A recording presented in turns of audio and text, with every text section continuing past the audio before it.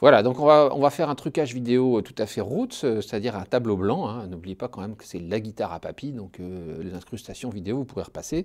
Non, non, je plaisante, mais pour l'instant, on, va faire simple pour que ce soit euh, très compréhensible. Donc voilà, un diagramme d'accord, ça va se présenter comme ça. On reconnaît donc euh, les six cordes. Donc en fait, la première chose, c'est que c'est comme si on représentait la guitare comme ça. C'est-à-dire, vous imaginez votre guitare comme ça, et puis là, vous venez mettre les doigts ici. Euh, vous avez votre manche. Donc, en fait, le principe du diagramme d'accord consiste à lui mettre la tête euh, en haut, la, tête de la guitare en haut.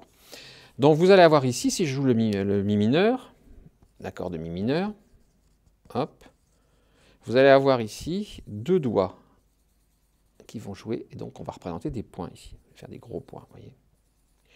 Et puis sur cet accord de mi mineur, euh, en fait j'ai deux, deux cordes qui sont jouées, et puis je vais avoir des cordes à vide. Donc une des symboliques consiste éventuellement à représenter des zéros au-dessus pour dire qu'on a les cordes à vide. Donc là je vais représenter une petite double barre, remarquez que c'est le, haut du manche, hein, donc ce qu'on appelle le sillet.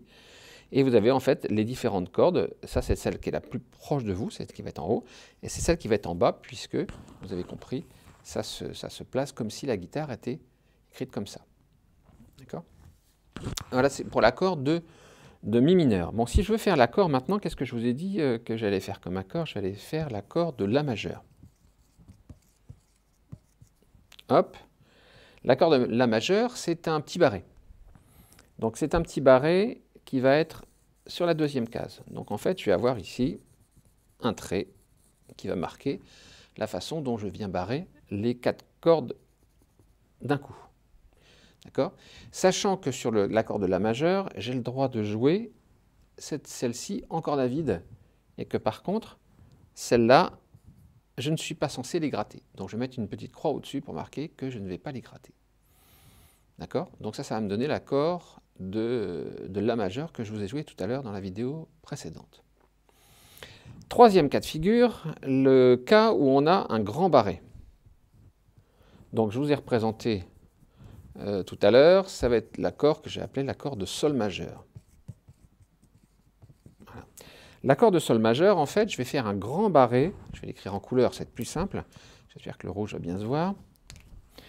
Je vais faire un grand barré à, la case numéro 3. Et puis après, je vais avoir les autres doigts qui vont marquer ici. Donc ça, c'est l'index.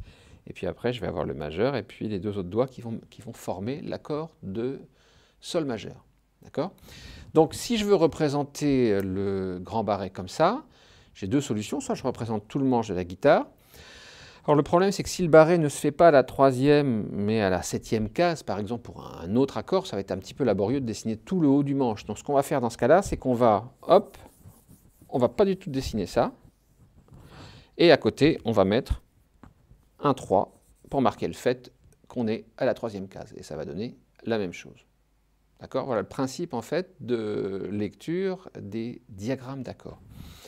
Alors, on cherche à éviter bien sûr les notations par solfège euh, pour deux raisons. Euh, c'est que le solfège, ça fait peur. On ne sait pas trop pourquoi, mais ça finit par faire peur à tout le monde. Et puis surtout le problème de la guitare, qui est un instrument euh, qui est à la fois très populaire,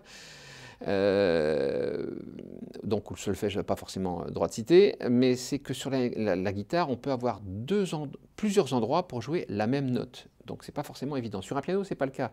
Si vous avez euh, un, fa dièse, par exemple, à une certaine octave, il est forcément sur telle touche.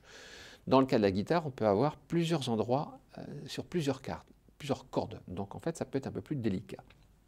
Donc le diagramme d'accord se joue. Il va y avoir une filiation, si on peut dire, entre euh, les diagrammes d'accord et ce qu'on va appeler les tablatures. Hein. Les tablatures vont consister à écrire le déroulé d'un morceau avec euh, ici la représentation des six cordes et des cases. Mais euh, avec les cases étant représentées par des numéros. Mais ça, on verra ça plus tard. Pour l'instant, le sujet était sur les diagrammes d'accord que vous allez trouver partout sur le net. voilà. Et bonne journée.